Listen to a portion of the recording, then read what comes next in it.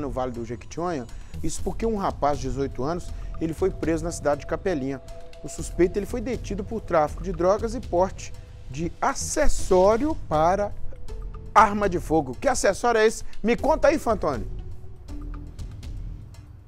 Nicomedes, esse jovem de 18 anos, ele foi preso pela polícia quando os militares faziam aquela ronda, aquele patrulhamento pela cidade para verificar situações de risco, mas também dar apoio às necessidades da população. E aí perceberam um veículo e acharam estranho o veículo parado num local suspeito e aí observaram que uma pessoa chegava, pegava uma sacolinha e entregava para uma pessoa, voltava dentro do carro, pegava outra sacolinha e entregava para a pessoa.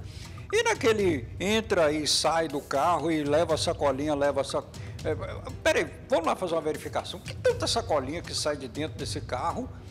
Só que quando os policiais se aproximaram, a pessoa que fazia a entrega das sacolinhas, ele conseguiu fugir a pé. Mas aí esse jovem de 18 anos tentou fugir com o carro. Aí a polícia conseguiu localizar, conseguiu interceptar a fuga desse cidadão com o carro e aí foram fazer uma verificação.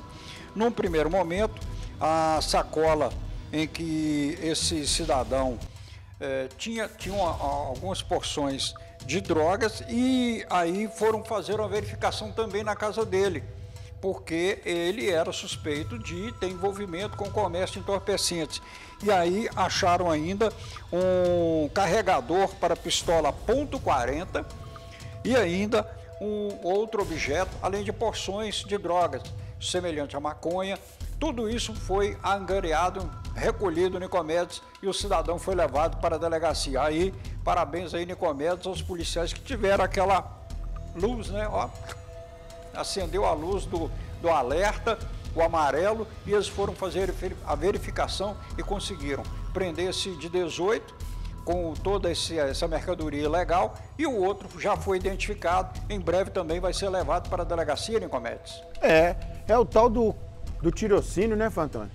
É expertise policial, né? É que percebe. No faro, né? O faro policial. Aí também o, o olho, já estou falando isso aqui, né? sujeito está fazendo trem errado, o olho dele dá uma esbugalada, né?